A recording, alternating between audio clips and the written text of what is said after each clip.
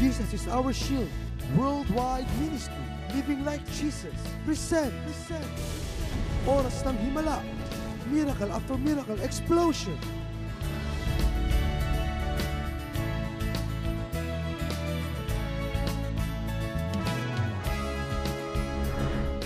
Prepare to meet your God.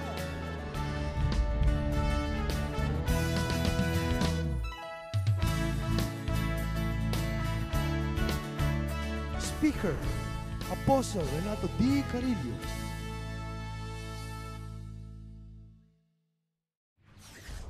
Kasamahan po natin ang lingkod ng Diyos sa Revelation na may mamagat na Living in Victory Through Obedience, the book of 1 Peter chapter 2, verse 21. And I read, For to this you were called, because Christ also suffered for us, living as an example that you should follow His steps. Isa pong dakilang kalooban ng ating amang langit sa ating kanyang mga anak ay yung tayo po ay nabubuhay, lumalakad sa tagumpay. Kailangang itanim niyo po sa puso't isip niyo po ang truth na yan. Yan po yung kanyang perfect will. Sa araw-araw nating pamumuhay, saan man tayo naroroon, ano man po ang sitwasyong hinaharap natin, at ano man po yung nangyari sa ating kapaligiran. God's perfect will for us is to live and walk in victory. That is 100% victory. At ito po ay sasa atin sa pamamagitan po ng obedience. At ang Bible po ay punong-puno po ng truth na ito. In Genesis 12, 1 to 4, makikita po natin dahil sa pagsunod po ni Abraham, ang buong mundo po ay na-bless sa pagsunod niya sa utos ng Diyos mula po sa Haran at yun po ay siyudad po ng Babylon. Siya po'y umalis at tumuloy po ng Kanaan at siya po ang Israel ngayon. Upang itong lupang itong pinangako ng Diyos sa kanila, kanila pong maging eternal inheritance. And it happened because Abraham obeyed God. Enoch, ang sabi po ng Genesis 5.23, siya po'y na-rapture na buhay. Sa gitna po ng magulo, makasalanan at immoral na kapaligiran kanyang kinalalagyan. Hindi po siya nakaranas ng kamatayan. Kinuha po siya ng Diyos na buhay. Noah, in Genesis 6.9, Genesis 7.1 to 7, eh, siya lamang po ang naligtas kasama kanyang asawa, tatlong anak at tatlong manugang na lahat po ng tao ng panahon niya po ay namatay, nalunod sa baha. Dahil sila po ay sumaway sa Diyos, hindi nakinig sa tinig ng Diyos. Si Noah po at ang kanyang pamilya ay sumakay ng ark. Dala-dala po ang bawat paris ng hayop. At upang sa pamamagitan po nila ay magsimula muli ang Diyos ng bagong henerasyon. Joseph. Sa gitna po ng dinaanan ni Joseph na krisis po ng buhay, siya po ay inusig ng kanyang mga kapatid. Siya po ay naakusahan ng walang katotohanan. Siya po ay pinagbili ng kanyang mga kapatid. At siya po ay naging alipin ng mga Egyptian sa Egypt. Naglingkod na may katapatan sa bahay ni Pontipar. Pero inakusahan ng mali ng kanyang asawang babae. At siya po'y napunta ng kulungan ng walang kasalanan. Pero si Joseph po'y may revelation sa Diyos. At yun po ang malinaw in Genesis 15.19 na inuna lang siya ng Diyos sa isang kaparaan ng hindi po ordinaryo. Inuna lang po siya ng Diyos sa Egypt sa isang sitwasyon at karanasang hindi po maintindihan ng marami. Upang sa pamamagitan ng kanyang pagsunod, ang kanyang buong pamilya, ang labing dalawang tribo ng Israel, ang God-chosen people, ay maligtas. So he boldly declared to them, nung namatay na ang kanilang amang si Jacob at ang kanyang mga kapatid ay natatakot na sila ay kanyang paghigantihan. Dahil siya nga po naging prime minister ng Egypt na kung anong sabihin niya yung nagaganap. At walang anumang bagay na magaganap sa Egypt malibang siya po'y nagsalita. At tinanggalan niya po ng takot ang kanyang mga kapatid. Ang sabi niya, You meant it for evil. The devil meant it for evil, but God meant it for good. So naintindihan po niya yung kanya pong suffering. Yung kanya pong pagpunta ng pit, pagpunta ng prison, ay inalaw ng Diyos for him to go to the palace and to save his people. Moses, nasabi ng Hebrew 11:24 to 26, higit niya pong pinili ang Panginoong Kristo. Siya po ang susunod na paraon. Sa kanya pupunta ang trono upang maging pinakamayamang paraon, pinakamakapangyarihang panaon, paraon. Lahat po ng kapangyarihan, kayamanan, pinag-aralan, posisyon, pwesto ay na kay Moses. But the Bible said, because of the reproach of Christ, because of the sufferings of Christ, He want to become partakers of that suffering, iniwan niya po lahat ito. Higit niya pong pinili ang kalooban ng Diyos para maging deliverer. At yun po ang nangyari. Again, Moses, nang mailabas niya na po ang mga Israelita sa Egypt, ay ginawa po ni Pero ang kanyang pinakalas attempt to stop them and that is to kill them all. Pinahabol niya po sila sa pamamagitan po ng kanyang mga sundalo sa kanilang mabilis na karwahe. At naipit po sila sa tapat po ng Red Sea, sa kaliwa po ay matataas na bundok, sa kanan po ay matataas na bundok, at sa likod po ay ang malakas na hukbo ng army ni Paraon. And Moses cried out to God for help. And God said to him, Why are you crying in my presence? Itaas mo ang staff, ang rod, divide the Red Sea. At si Moses po'y sumunod.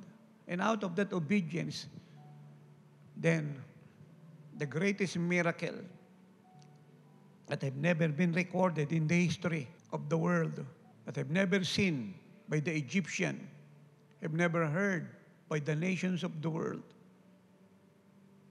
concerning nature, ay pinerform ng Diyos. Hinati niya pong Red Sea. And out of that obedience, the three million Jew walk in a dry land. Ito pong mga tubig na ito naging haligi sa kaliwa at kanan as they went along to their journey, protected by the pillar of fire by night, the pillar of cloud by day, na humarang upang hindi makahabol ang mga sundalo ng paraon. And again, because of Moses' obedience in Exodus 34:28, ay natanggap niya po ang Ten Commandments sa Mount Sinai. The law was given to him habang siya po'y nag-aayuno ng 40 days and 40 nights. Because he was commanded by God to do so. At di lang po yun ang natanggap niya. Ang sabi po ng Exodus 34:28, Deuteronomy 9:9, yung kanya pong mukha nagliliwanag. Sa apat na pong araw at apat na pong gabing walang tigil na pakikipag-usap sa Diyos na walang nakitang tao kahit isa. But God alone. Na hindi siya matitigan ng mga Israelita at kung meron mang makatingin sa Kanya, sila po'y convicted ng sin. Dahil siya po'y nagtatransfigure yung revelation po ng perfect holiness at glory ng Diyos ay nagmanifest po sa kanyang countenance.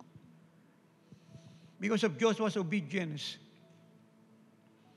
yung pong fortified city ng Jericho, ay hindi po nasira ng sino man pong bansa na nakapalibot sa kanila at nakaaway nila sa isang kisip matay nag-collapse. At yun po ang sabi ng Joshua 6.15 to 21. When God commanded Joshua na naging successor ni Moses na umikot sa walls ng Jericho ng pitong beses kasama ng priest, ng Levite. At pagdating ng ikapitong beses, sila sisigaw ng malakas, the shout of victory. And when they do that, Jericho collapse. At yung kanila po mga kaaway, kanila pong nawasak. Ang kutang nakaharang sa kanilang dadaanan at balakid sa kanila pong journey patungo sa Canaan, sa promised land ay naalis. Bunga po ng pagsunod ni Eladia, na ianuin po ang kanyang successor na si Elisha, na inalis siya po yung insecurity, self-pity, bitterness, at resentment. Dahil siya po ipapalitan, he gladly obey God, and naranasan niya po yung rapture. Siya po nakasakay sa chariot of fire. Amen. At di po siya nakasumbong ng kamatayan. Sinundo po siya ng chariot of fire. You see how God works supernaturally to give us a life of victory through obedience. Amen. Elisha, in 1 King 19, 19 to 21, bunga ng kanyang pagsunod ay na-multiply niya po yung himalang ginawa ng kanyang amang propetang si Eladia.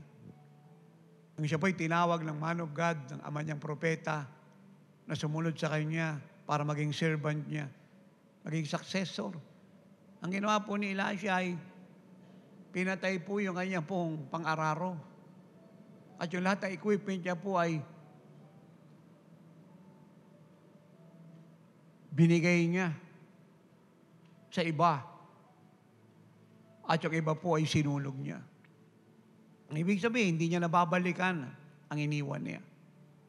At yung nga po ang nangyari hanggang siya po'y mamatay. At na-enjoy niya po ang anointing ng kanyang amang nasalin sa kanya. At nakikita niya pa ang ginawa ng kanyang amang propeta.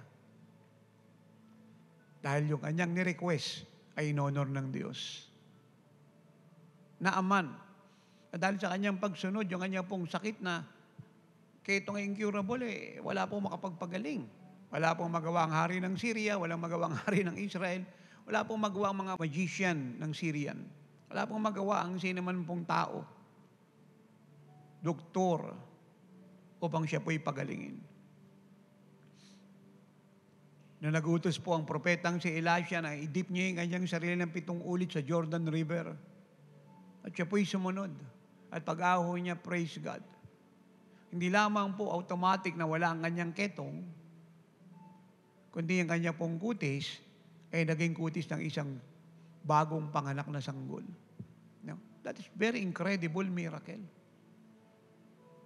No? Hindi lamang po nawala yung ketong sa kanya pong buong katawan, kundi yung kanyang balat ay napalitan ng balat, kutis ng isang batang bagong panganak. So meaning to say, hindi lang po siya naging malinis, hindi lang po siya naging napakakinis, siya po'y naging soap and tender. Amen. Nehemiah, nang nabalitaan niya po, nawasak po ang walls ng Jerusalem, wala pong nagaganap pong pagsamba sa bahay ng Diyos. Ang mga Diyo po ay wala pong lugar na puntahan para i-celebrate ang kanilang faith at makasamba sa Diyos. Ang ginawa niya po agad ay nanalangin at nag-ayuno. Pinaalala sa Diyos ang kanyang mga pangako. Hiningi ng tawad ang kasalanan ng kanyang mga ninuno. At siya po'y binigyan po ng Diyos ng favor. Yung sabi po ng Nehemiah 2.1 and 9, hindi po ng Diyos ang hari. At lahat po ng hiningi ni Nehemiah patungo po ng Jerusalem ay binigay ng hari. At pagdating niya po ron, muli siyang sumunod sa Diyos, siya po'y naglagay ng 24 hours na prayer para bantayan po ang mga gumagawa sa temple sa attack ng mga Arabs. Anong time pong yan ay desididong wasakin po sila at ang temple na kanilang tinatay. But because of his obedience, the blessings of God flow to them. And they made it true. And they enjoy victory. At ang temple po ay na-rebuild. And began to celebrate and praise God and offer sacrifices to their God. David, wala pong may gustong lumaban kay Goliath. Pati po yung kanilang hari si Saul na malaking lalaki naman. Meron rin po siyang ispira, arrow, bow. Meron rin po siyang weapons of war. Pero siya po'y takot. But David, sa kanya pong kabataan, around 16 to 18 years old, eh narap po ang giant na si Goliath. And we know the story. Not only he defeat Goliath, but he beheaded Goliath. Pinugutan niya po ng ulo si Goliath. At yun po naging way upang ang mga Philistine po ay matalo nila. At yun ang naging way upang siya po ay maging youngest king ng Israel. Amen. Sa murang gulang po ni David, siya po ay hari na. Napakaganda, ano po? Grabe po ang pagpapala ng pagsunod. Sobra. It bypass age. It bypass qualification. It bypass color. It bypass family name. It bypass family status ko. Batang-bata, ano? anointed to be a king. Youth lang yung pumatay sa champion ng Palestine. Daniel. Dahil sa kanya pong pagsunod ay lamaya pong Israel. Nabasa niyo po ang prophecy ni Prophet Jeremiah. Nakatanim po sa isip po niya yan at puso nung sila po in-invade ng Babylon. Sa kanyang murang gulang, almost 16 to 18 years old din po si Daniel. Naging alipin po sila ng Babylon. That is around 605 BC. Pero nasa puso niya po ang truth ng prophecy ng propetang si Jeremiah. Na after 70 years, sila po ilalaya. Hanggang doon lang po yung panahon tinakda ng Diyos sa kanila. Na actually judgment ng Diyos because of their unfaithfulness, idolatry, immorality, that leads to rebellion against God. And God is so angry. At sila po'y pinasakop sa isang makapangyarihang bansa. Wala pong bansa ang pwedeng invade ng sino man, malibang ialaw ng Diyos. At pag ito po inalaw ng Diyos, meron po siyang pinakikita. Meron siyang tinuturo. Kinokotap niya po ang atensyon ng isang bansa. Mula po roon sa pinakamataas na posisyon hanggang sa pinakamababa. For the Bible said in Job 12, 23 to 25, lahat po ng destiny ng bansa ay nasa kamay ng Diyos. He rule over the affairs of the nations of the world. He designed their purposes and their destiny. At alam ni Daniel na dumating na po yung 70 years, pero hindi pa po sila lumalaya. Dinaan niya po ito sa pananalangin at pag-aayuno. At dumating po ang freedom sa kanyang bansa. Joel, ng Diyos po ay nagalit at sila po ay binigay bilang prey sa kanila pong kaaway, the Northern Army. Nag-invade sa kanila. And prior to that, in-invade po sila ng marami pong balang, mga locust. Na almost po yung himpapawid, yung kalawakan, na hindi mo makita ang ulap. Siya po'y natabunan po ng hindi mabilang na mga locust. Walang ulan. Dilim po palagi ang nakikita sa Israel. Dahil sa kanilang pagsuway sa Diyos. And God spoke to the prophet. At sinabi ng Lord ang kanyang demand para maalis yung judgment sa kanila. Hindi sila ma-invade ng mga locos at ng Northern Army that is coming from the north that is so mighty more than them. Ay repentance, national corporate prayer and fasting. And when they do that, as God had promised them, nirestore ng Diyos yung lahat po ng sinira ng locos. Yung lupa pong barren ay ginawa niyang fruitful at productive.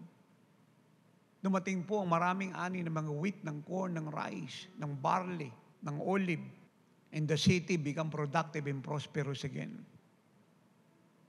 Jonah.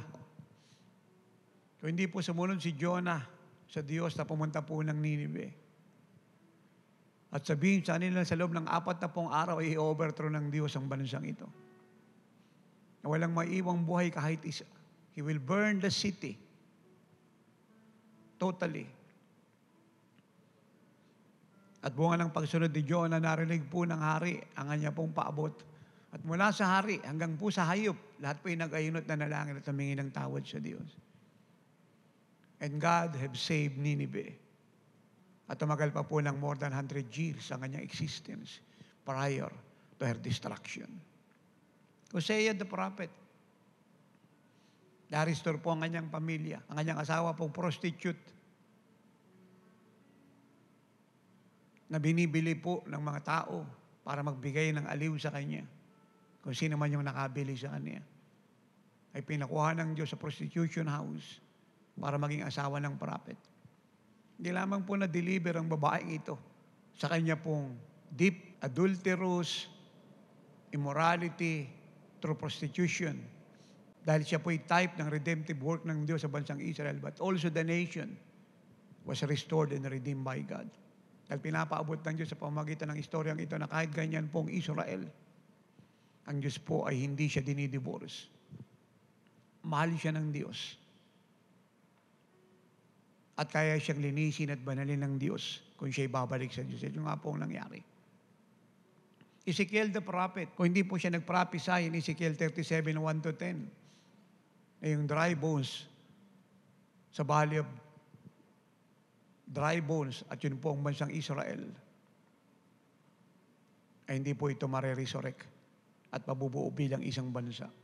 Paul the Apostle, kung hindi po siya sumunod sa Lord, ay hindi po naabot ang mga hari. Hindi po naabot ang mga emperor.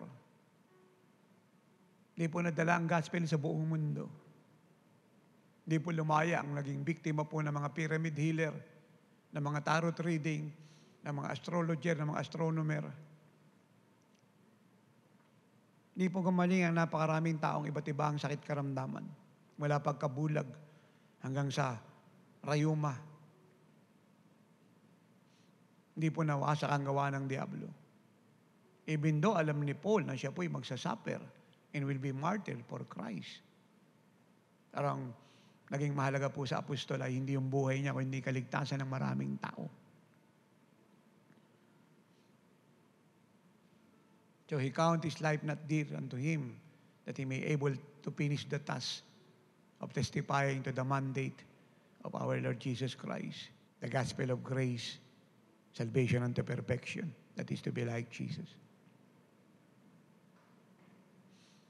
Kaya siya po'y pinipigil ng mga alagad, pumunta ng Jerusalem because the prophet Agabus already prophesied na kung sino po yung may-ari po ng belt na yan, na kanya pong pinagtalian ay magbabata ng gusto. At yun po si Paul. But Paul said, I'm not disturbed by the prophecy. I have decided to die for Christ. At siya po yung nagpaalam sa mga anak niya sa episode, sabi niya, you will never see my face again. At yun nga po ang nangyari. That is the reason why they are crying. Preventing him to go to Jerusalem.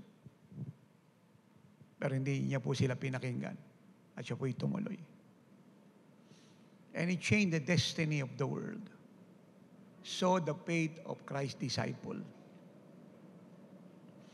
Yung mga alagad in Luke 5, 4 to 7, o magdamag na ng isda, walang nahuli. Pero sa simpleng pagsunod sa utos ng Lord, hindi lamang po napuno yung kanilang dalawang lambat ng malalaking isda, pati po yung mga bangka ay almost lumubog sa dami po ng isda. Yun din po ang nangyari in John 21, 1 to 6 sa dagat po ng Tiberias, na kung saan ito po yung ikatatlong pagpapakita ng Panginoon sa mga alagad. Bumalik sila sa backsliding sa pangunguna po ni Peter. Nang isda, wala rin nangyari. Then ang Lord nag-appear, nag-utos ng simpleng utos. Itapon yung lambat sa kanan ng bangkat, sila yung makakakuha, sila po yung sumunod. At yun nga po ang nangyari. Umaapaw na naman po yung kanilang mga lambat sa dami ng isda. In wedding in Cana, John to 1 to 11. So, naubusan na po ng alak na iinumin. Alam niyo po, sa kultura nila, yan po'y disgrace. Pag naghanda po, ang sinaman at nagkulang po ng alak na iinumin, especially ito po yung kasalan, disgrace po yan sa family pati sa host. Disgrace po yun. And po reason bakit nagmamadali si Mary na nagpunta sa Lord kasi maaring relatives niya po yung kinasal o hindi ko po alam kung ilang degree po yung pagiging relative niya rito. Maybe. Eh kasi disgrace nga po yun. Na wala na pong mainom po yung mga pumunta. Nakakahiya po yun. Pero, nandiyan po ang Lord palagi para i-rescue yung mga nangangailangan. So, inutusan niya po yung mga alipin na maglagay ng tubig doon sa jar, anim na jar. Ito pong jar, eh, ito po'y ginagamit para maghugas po ng paa ng mga lumabas ng bahay. Yung mga bumiyahe, nagtrabaho sa bukid, o saan pa po nagpunta. Yun po yung ginagamit. Yung sa jar na yan. Yung tubig sa jar. Pinapuno niya po yun. Yun din po yung ginagamit para painumin po yung mga camel. At ito po yung napuno ng, sabi niya, dali niyo yan doon sa naghanda ng kasalan, yung host nga ng wedding.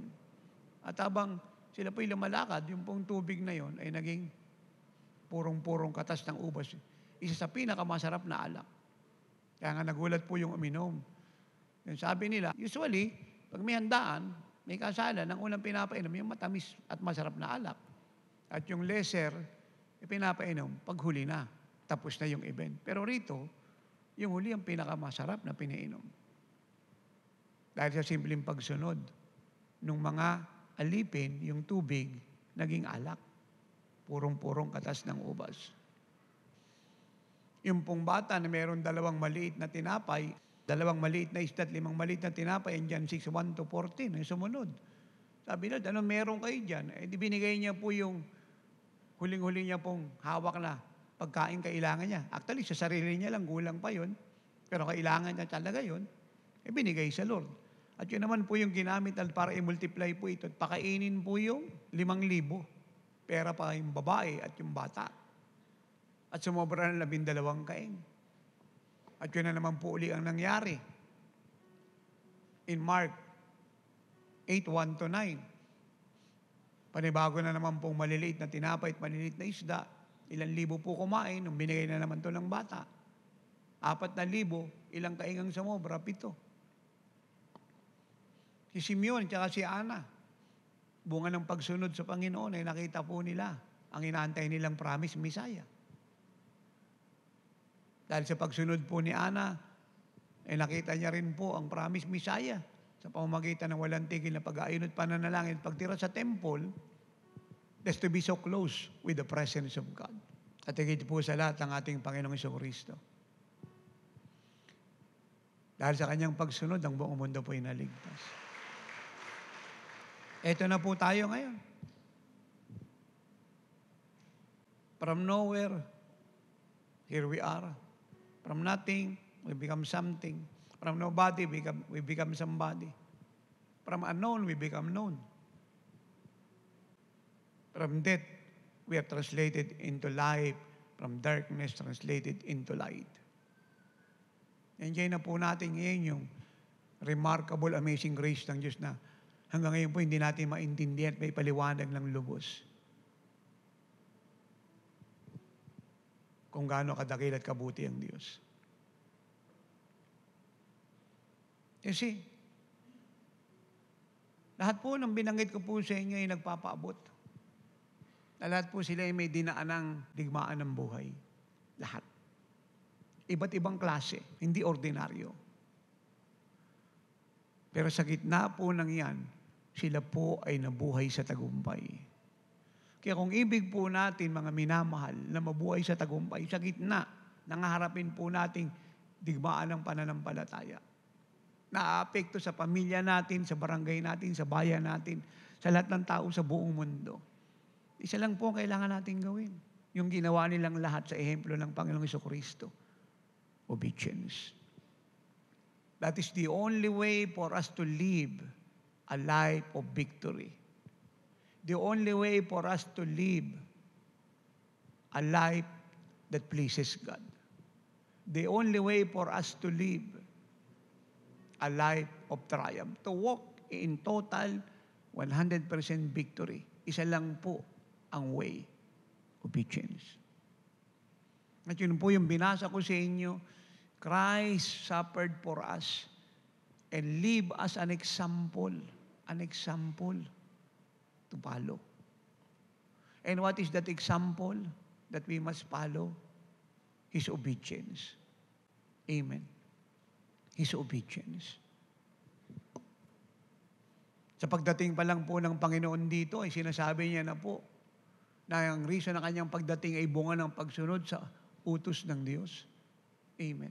Hindi siya dumating sa mundong ito sa ganang kanya. Inutusan siya ng God the Father. At yung utos na yan, tinapatan niya ng pagsunod. Dahil Sabi niya sa John 6.38, I came to do the will of Him, that's, that's God the Father, who sent me. Amen. Siya raw po'y dumating sa mundong ito para ganapin, sundin ang kalooban ng Ama na nagsugo sa Kanya. Amen. Sa simula't simula pa po, dinideclare niya na na yung utos ng Ama ay tinapatan niya ng pagsunod. At yun ang reason ba't siya nandito. Dahil nag-utos ang Ama, siya po'y sumunod. At ano po yung utos ng Ama? Iligtas buong mundo. Bayaran mo kasalanan ng isang katauhan. Tumawag ka ng mga alagad, turuan mo maging kagaya mo. Sumunod po siya sa Diyos. Sa gitna po ng suffering na dinanas niya, ang sabi ng Hebrew 5, 8, ay hindi siya tumigil sumunod. He learned obedience by the things which he suffered. Yung pong suffering na dinanas niya, hindi naging daan upang siya po'y maging lukewarm. Yung suffering na dinanas niya, hindi naging daan upang siya po ay maging complacent, mag-compromise. Yung suffering na dinanas niya, hindi naging daan upang siya po ay mag-back out at mag-backslide, mag-murmur, mag-complain, maging bitter, naging unforgiving, at mabuhay sa self-pity. At i-deny ang Diyos. Yung lahat po ng suffering na dinanas niya, Amen. Sa sinapupunan pa lang po ni Maria sa conception ng Holy Spirit, nagsuffer na po ang Lord. Siya po'y persecuted na. Kahit saan na po siya, binibitbit nila Mary from Jerusalem to Egypt para takasan po. Amen. Ang lahat po ng order ng wicked na hari, ayun po si Hero the Great. Hanggang siya po'y magkaisip. Hanggang siya po'y magkaedad ng 30 at sinimula ng kanya pong public ministry. At po ng 33 years, at ang wakas po ng lahat ng ito ay yung cross patungo sa kanyang resurrection, ascension at descension sa panahon natin ngayon. Hindi po siya tumigil sumunod sa Diyos. Sa gitna ng suffering na dinanas niya. And out of Christ's obedience, iniiwanan niya po tayo ng ehemplong dapat tularan for us to live and walk in victory. Kaya po yung mga lalaki babae, bata, matanda, mula sa fivefold pababa sa congregation na gustong mabuhay sa tagumpay, lumakad sa tagumpay, ay mabubuhay sa pagsunod. Hello. Amen. Mabubuhay sa pagsunod. Ulitin ko po, lahat ng gustong mabuhay sa tagumpay, sa gitna ng pagsubok ng buhay, kasi alam niyo po, no, itanim niyo na sa puso at isip ninyo nung po ito sinasabi at hindi ito pwedeng magbago. Ito po ang tamang turo. Hindi kayo pwedeng mabuhay tayong lahat ng mga anak ng Diyos sa mundong ito nang wala tayong haharaping digmaan at pagsubok ng buhay. Whether you like it or not. This is the truth. It is more than a fact. It's a reality. Why? We have an unseen enemy. May kaaway tayo rito yung Diablo. Na kahit anong gawin mo, hindi siya titigil, magnakaw, magwasak at pumatay. Hindi siya magbabago ng ginagawa. Nature niya po yan. At hindi siya magbabawas ng kalikasan. Yan po yan. Kaya kahit na ayaw mo o gusto mo, wala kang option, kundi makaunawang may effect sa iyo ang gagawin ng Diablo kahit ayaw mo o gusto mo. At hindi mo siya maaawat magtrabaho. So, para hindi siya magtagumpay sa buhay, laban sa iyo, pamilya mo, kinabukasan mo, at sa ating bayan at bansa, dahil siya po ay powerless, useless, sinungaling lang at yun lang ang power niya, then, kailangan nating mabuhay at lumakad sa pagsunod. Wala tayong option.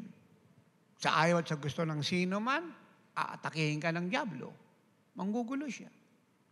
Sa ayaw at sa gusto mo, pababa sa pamilya mo. Kasi nature niya yan. So, dahil hindi mo siya maawat, trabaho niya yan, kalikasan niya, especially alam niya, maiksi na yung panong nag-aantay sa kanya sa mundong ito, bababa na ang Panginoon, at ang hatol niya ay nararanasan niya na matagal nang na-pronounce in Genesis 3.15 pa, ay nagmamadali po siya para magnakaw, magwasak at pumatay. At ang sino mang hindi mabubuhay sa pagsunod, now listen carefully, at hindi lalakad sa pagsunod, ay biktima ni Satanas. Sa ayaw mo't sa gusto.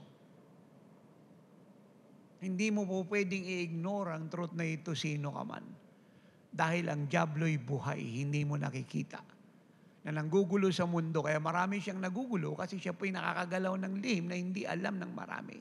Pero tayo alam natin. We are not ignorant of the devil's devices.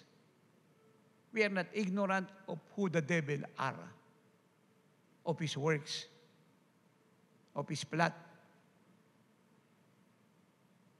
Amen. Kaya iniwanan tayo ng Panginoon ng ehemplo na dapat tularan para sa gitna ng panggugulo ng diablong talo na naghahanap ng ipapahamak niya sa impyerno, ay manatili tayong tagumpay. Napakadaling intindihin ito. Amen. Kaya yung atin pong pasyang maging seryoso, responsible sa ating pananampalataya sa Diyos, faithful commitment sa kanyang lordship, na ipapakita sa pamamagitan ng pagsunod ay napakahalaga. Ano man ang ating pakiramdam. Ano man ang sitwasyon natin. Iniwanan tayo ng Panginoong dumaan sa maraming sitwasyon at pagsubok ng buhay ng ehemplong dapat tularan na naging daan kung bakit siya naging matagumpay ay siya niyang gusto nating gawin upang tayo rin po maging matagumpay kung paano siya naging matagumpay na yung tagumpay na ginawa niya para sa atin ay malakaran natin at yun po sa pamamagitan ng ilakas nyo para malaman ng Diablo. Palakpakan natin ng Diyos. Nagsunod. Po maunawaan nyo, napakaganda po nito. Simpleng-simpleng katotohanan and yet so powerful. The only source and the only way for everybody to walk and to live in victory in every trial and testing of faith. In any season, in any situation, in any place, in any location, in any nation. Hello? Obedience. Christ lives as an example to follow. Napakaliwanag po nun. Iniwanan niya tayo ng halimbawang dapat sundin. At ang sabi po ng Persian 5.3, alam nating lahat kung anong pag-ibig. Amen. Ano raw po ang pag-ibig? Ito po ang pag-ibig mula sa Persian 5.3. Kung sinusunod natin ang mga utos ng Diyos. Yun po ang pag-ibig sa Diyos. Yan ang pag-ibig natin sa ating kapwa. At yun po yung first and second commandment, Mark 12, 30, 31. Pag sinusunod natin ang mga utos ng Diyos. At yun din po yung pag-ibig natin sa ating mga sarili. Kasi wala sa ating gustong mabigo sa buhay. Wala sa ating gustong maghirap. Wala sa ating may gustong magkasakit, mabankrupt, mabiktima ng Diablo. Walang may gusto sa atin nun. At lalong walang may gusto sa ating mapunta sa impyerno. Amen? Wala. Kaya binigyan niya po tayo ng kapahayagan ng powerful tool or weapon para magtagumpay. Amen? Ano po yun? Obedience. At ang sabi po niya, now we know what love is if we keep His commands. Yun po yung meaning ng obedience. Eh. We keep God's command. Yun po ang meaning ng obedience. Sinusunod natin mga utos ng Diyos. Hindi po tayo pumipili ng susundin. Kagaya po ng marami. So gusto niya lang magtay. Tayo niya magbigay sa TV, sa radyo, sa mission, sa mission of love. Ayaw niya po magsakripisyo. Mamimili po siya ng susundin. Hindi po obedience yun. Kasalanang malaki po yun. Hindi obedience yun. Hindi tayo namimili ng susundin. Iutos niya eh, tithes and offerings eh. Eh bakit magtatahid ka lang? Yung iba naman nag-offering lang, hindi nagtatahid. Hindi po obedience yun. Disobedience yun. May consequences po yun. Amen. Ay yung taga Macedonia, oh, sino po nag-enjoy ng pagsunod nila? Sila. Dahil sa pagsunod nila, sila pong mahirap ay umama. Silang walang-wala ay umapaw. Amen. At yun na rin kung ba't sinasabi ng apostle in 2 Corinthians 8.7, you must excel in giving. Kasi ginagamit niya pong ehemplo yung mga taga-Macedonia. Sa gitna ng malaking kahirapan, they excel in giving. So they excel in receiving. Amen. At sinasabi niya po sa mga taga-Korintong mayaman, may pera, pero kuripot, magnanakaw ng tithe at offerings. Hindi nagpi-pledge. Lagi na lang nakikilibre. Lagi na lang nakikiawa. Lagi na lang nagpapa-sponsor. Ayaw umako ng tungkulin. So meaning to say, ayaw sumunod. Ayaw mag-pray, ayaw magpas, ayaw mabuhay na banal. Ayaw sumunod. Kaya ginamit na apostol yung mga taga-Macedonyang nasa malaking kahirapan, pero nagbigay ng may malaking kagalakan, kaya sila'y pinayaman ng Diyos. Pinagpala. At yung mga taga-Korintong mayaman, nag struggle para sumagana. Abroad ng abroad. Sakay lang sakay sa barko. Sakay lang sakay sa eroplano para mag-abroad. Sa iba't ibang bansa sa buong mundo. Lahat pinapasok, nag-overtime, negosyo ng negosyo. Walang nangyayari. Kasi hindi sumusunod. Yung mga taga-Macedonia, hindi nangungutang ng bahay, hindi nangungutang ng sasakyan, pinapapala ng yung mga taga-Corinto, nangungutang ng bahay. Nangungutang ng sasakyan. Naglulun sa bangko. Ingit, may mga pera yun, may trabaho yun, may kinikita yun, nangungutang, may utang pa, may kulang pa, hindi kasi sumusunod. Yung mga taga-Macedonia, nasa malaking kahirapan, walang utang, bless, pinagpala ng Diyos. So obedience is what? Keeping God's commands, plural. Hindi ka pipili ng gusto mong sundin. Siya po yung may karapatang mag-utos, ang ating tanging karapatan at pribileyo sumunod sa mga utos niya. At hindi mahirap sumunod na watch me now. Ano pong sabi niya? Now we know what love is all about if we keep His commandment and we know His commandments or His commands are not burdensome. Hindi raw po mabigat yung utos ng Diyos. Magaan kaya nating sundin, madaling sundin.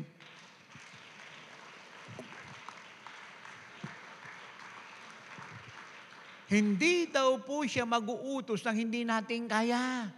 Lahat daw po nang iutos niya sa atin, kaya natin. At kung hindi man sumunod ang sino man, na hindi siya nagbigay ng tithe at offering sa gitna ng pagkaunawang ang dami na po nating radio, dami ng TV, hindi po biro yung magdagdag ka ng dalawang milyon sa limang milyon ginagastos mo buwan-buwan, pitong milyon na po siya ngayon, hindi po biro yan, hindi pa rin sila nagbibigay. Hindi sila natitinag sa kanilang pagsuway. Hindi ibig sabihin, sila po ay nagnanakaw pa rin ang kanilang kaloob sa Diyos at hindi pa rin po sila nagsasakripisyo para mapagpala at ma-enjoy po yung kasaganaan na in-enjoy ng mahirap na taga-Macedonia naging mayaman. Amen? Eh, mabigat yung utos ng Diyos. No. Sila lang pong ayaw sumunod, pero yung pinagagawa niya, magaan, kaya ng lahat gawin. So, Ulitin ko po ha. Let this truth become plain and simple to everybody. Pag meron pong sumuway sa Diyos, ba, ayaw niyang manalangin, ayaw niyang magayuno, ayaw niyang mabuhay ng malinis ang buhay, ayaw niyang mag-evangelize, Min, ayaw niya mag-commit sa Lord, so ayaw niya magpakatapat. So, ano man po yung inaayawan niyang gawin mula sa utos ng Diyos, hindi ibig sabihin na yung pinagagawa ng Diyos hindi niya kaya. Kaya niya, ayaw niya lang. At yung pag-ayaw na yan, ang unang-unang dahilan kung bakit ayaw din siyang i-bless ng Diyos. Ayaw din siya ng Panginoong i-promote. Ayaw din siya ng Panginoon bigyan ng kapayapaan at kagalakan. Ayaw din siya ng Panginoon na papasukin sa langit. Ayaw din siya ng Diyos ipagtanggol. But the Bible said in Psalm 66 verse 18, If I regard iniquity in my heart, ano pong pagkakaiba ng transgression sa iniquity?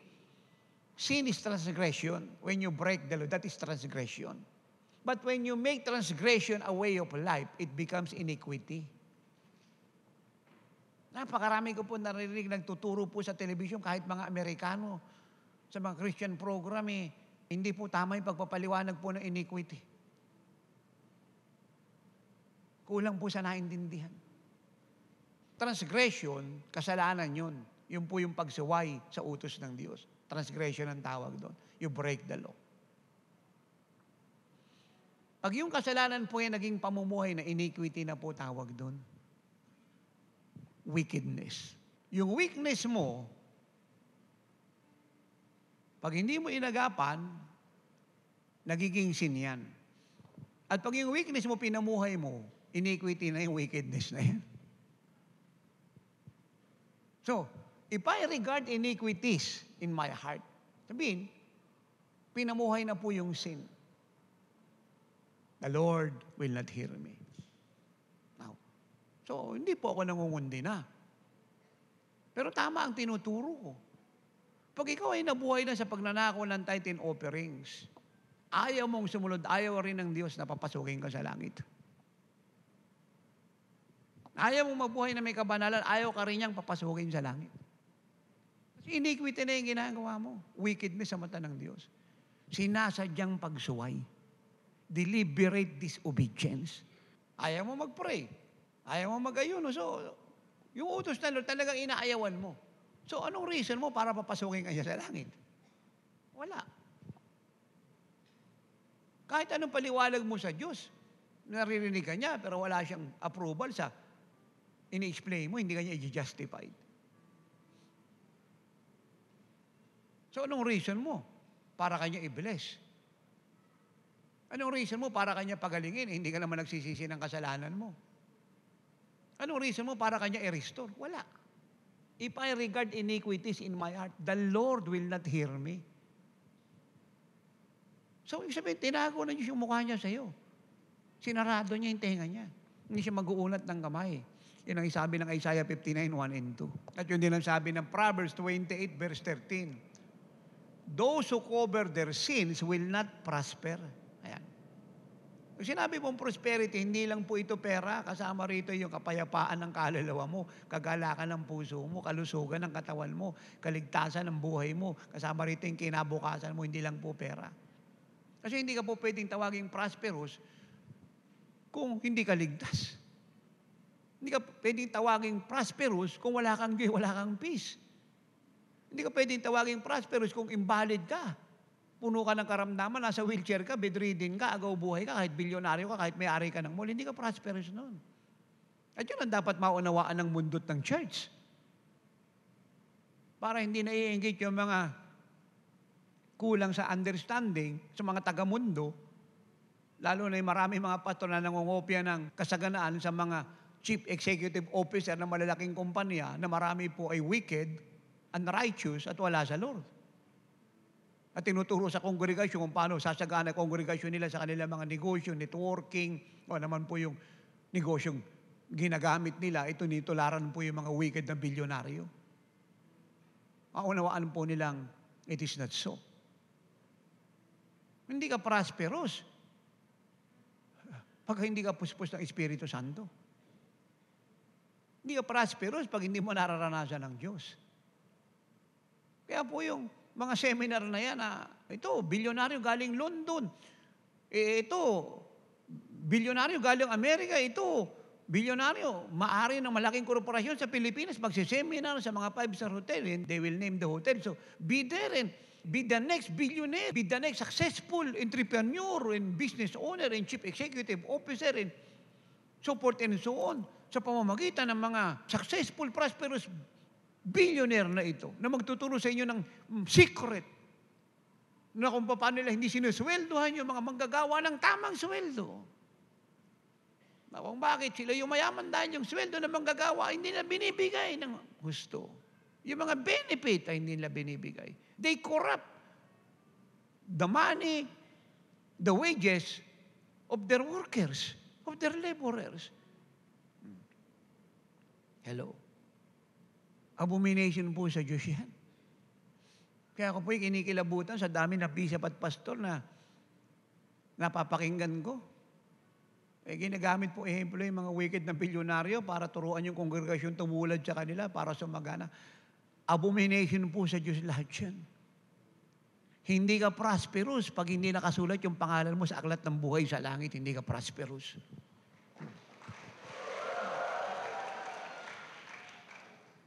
Hindi ka prosperous pag nagsisinungaling ka, nandadaya ka para kumita ng pera at yumaman at yung mga manggagawa, pinapahirapan mo. Sobra sa trabaho, bawas sweldo. Hindi ka prosperous nun, wicked ka. Grabe po yung ginagawa ng maraming bishop at pastor. Hindi ko po alam kung ano pong libro yung tinuturo, no? pero hindi po Bible yun. Nangungopia rito sa mga wicked na to. Alam niyo, ibig kong sabihin, eh, hindi po ito isang lihim. Alam niyo ang katotohanan yan. 95% ng church sa buong mundo ay kumukopya sa mga wicked para sumagana sa buhay. 95%. Mula sa Pilipinas hanggang sa buong mundo. Natingnan niyo po sa kanilang mga library, ando doon po yung libro ng mga wicked. Kinokopya nila. From rags to riches. From poverty to prosperity. From nothing to something.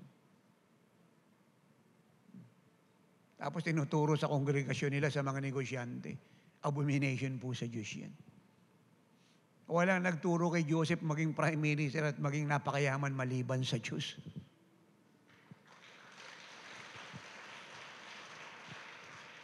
Ano po sabi ng Proverbs 16 verse 1? The heart of a man can make a plan, but the answer or the approval comes from God.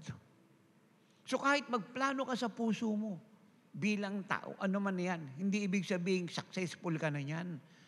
Ang Diyos ang nagbibigay ng kaganapan ng plano na yan. At bibigyan niya lang ng kaganapan yung plano na yan na nasa puso mo kung siya ang naglagay. Kung sa iyo lang yan, kahit anong gawin mo, dipit ka.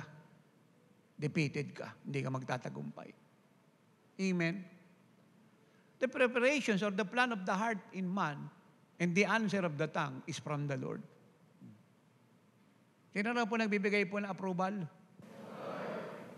Nakakalungkot po maraming bishop at pastor. May mga titulo pa, nag-aaral pa to sa Bible kalito to kamangmang. Alam nyo, ako po, wala akong balak na lumayo sa truth eh. Pagka ikaw ay bishop at pastor, ano, share naman ka ng moving ko, sabihin natin, nasa Bible ka nagtuturo ka. O sa humawa ka ng Bible, naka-stick ka na rito, mabuhay at mamatay, ito yung textbook mo. Ito yung buhay mo. Final na po yun.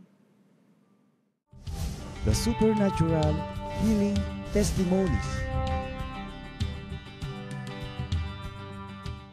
Yung pong mata niyong dalawa, may problema. Opo.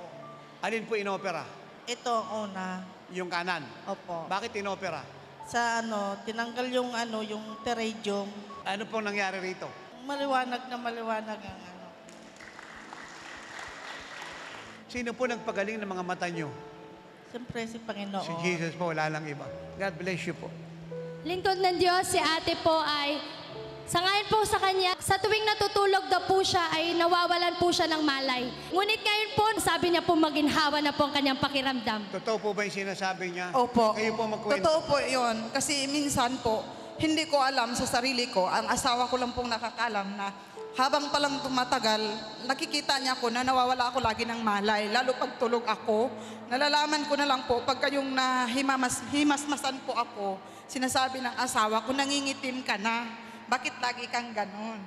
Pero ngayon, nung nandito po ako, maganda po ang ano, kasi naniniwala po ako talaga po na may, may Jesus Jesus po. Eh, Ito pong case na ito, bago ko to narinig, siguro kayo rin. Pag siya po yung natutulog, siya po yung nawawala ng malay, siya po yung nangingitim. Eh, di po biro yun. Kaya sabi ng asawa niya, anong nangyari sa kanya, bakit nangingitim ka? So ngayon po, maginhawa na kayo. Yes po. Ako yung naniniwalang ito po yung isa sa pinakamasarap niyong tulog mamaya at pag binantay kayo ng asawa niyo, wala na pong itim. Dahil kayo po yung malayang malaya na palakpakan po natin si Jesus.